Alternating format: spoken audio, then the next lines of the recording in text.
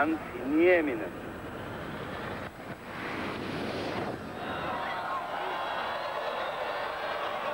Oh, das war weit. Der Bursche da, noch nicht am 18 Jahr, der schauen Sie, wer sich freut. Das ist ein gewaltiger Schlacht. Also, 110 Meter, der Schanzenrekord auf 112. Der Ansti, da sehen wir uns das noch einmal an. Jetzt kommt der Absprung und darauf kommt dann. Wer das erwischt hat, 20, 40 Zentimeter genau an, muss er wegdrücken und gleich langsamer. Sie sehen die Phase da rechts unten und jetzt kommt der Flug. Das Vorgehen nicht zu stark jetzt wieder. Jetzt wird er lang bleiben in der Kurve.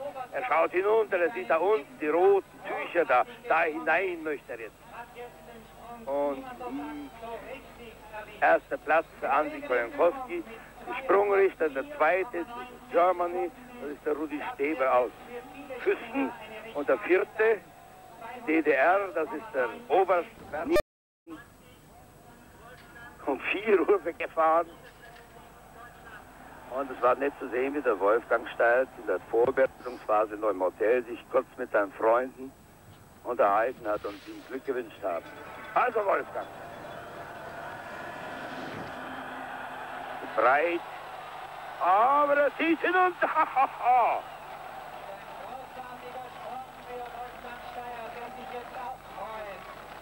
da warten wir schon lange.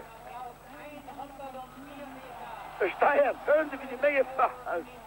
Zweiter, Wolfgang Steier ist Zweiter. Niemenen Steier, Steier vor Hanson, Steier vor Kalso und den anderen. Und der Bomel Wacek, er war Zehnter und Zweiter, Dritter plus Zehn sind Zwölfter, Dreizehnter, also Weltcup-Punkte. Auf jeden Fall für den Wolfgang Steyer und den Andreas Bauer. Das ist ja ein Weltcup-Spiel und die ersten 15 bekommen Punkte. Wacek. Oh, ha! Und das freut ihn natürlich. Das freut ihn natürlich, den Bomil. Und sicher auch sein Trainer, den Dalibor Motelek, der vor 15, 20 Jahren einer der Besten in der Platz, aber pass auf den Wacek auf.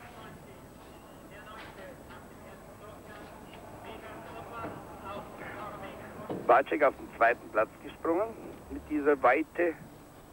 Und nun Vegat Opas, 24-Jähriger aus Oslo. Ja, breite Skiführung, aber die Weite. Er ist nicht ganz zufrieden. Aber in der Weltcup-Rängen dabei. 100,5 Meter. Vegat Opas und gleich noch ein Norweger nahe. Jan Henrik. Jan Henrik.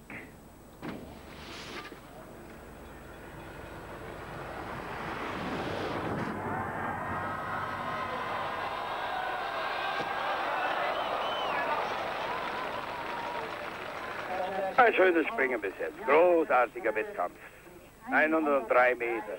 Das Eigenartige ist, dass die Norweger, die klassische Skispringernation, wo ja der Skispringen als Sportwettkampf überhaupt entstanden ist, vor gut 150 Jahren, dass die Norweger einen Trainer haben, der Slowene ist. Der Ludwig Seitz ist aktiver Springer gewesen aus Jesenice und er hat 1966 bei der Weltmeisterschaft ein junges Mädchen kennengelernt.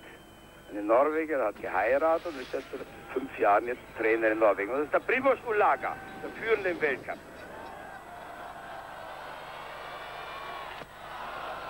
Timo Schulager hat ja das Springen in Oberstdorf ausgelassen, weil er im Vorjahr da Letzter geworden ist, einen Sturz hatte.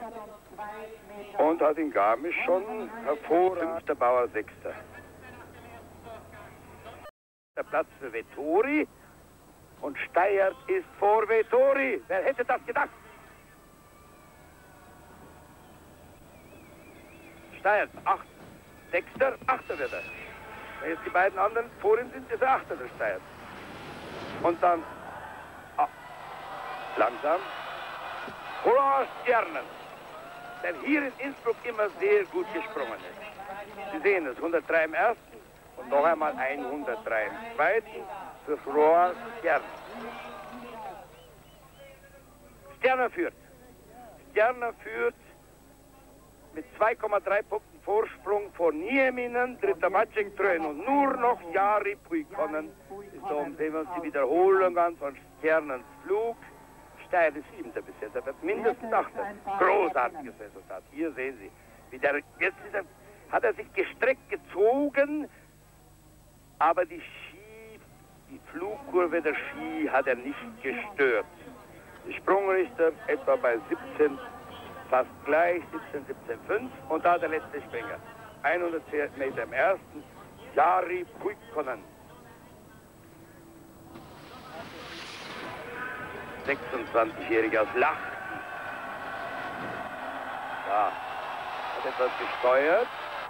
Oh, das war weit. War so ein bisschen Obstrecke, ein bisschen Anziehen der Beine im letzten Moment. Ja, wer sich freut. Der Jari, der hat gewonnen. Der dürfte gewonnen haben. Der Jari. 109.